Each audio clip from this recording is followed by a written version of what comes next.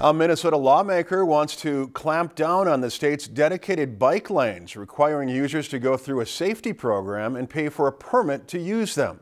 Representative Duane Quam, a Republican from Byron, says he worries that the bikers who use the lanes unsafely will have an accident.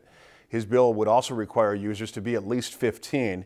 Biking advocates say the legislation is a step in the wrong direction, and angry bicyclists are taking to social media to say the bill is unfair.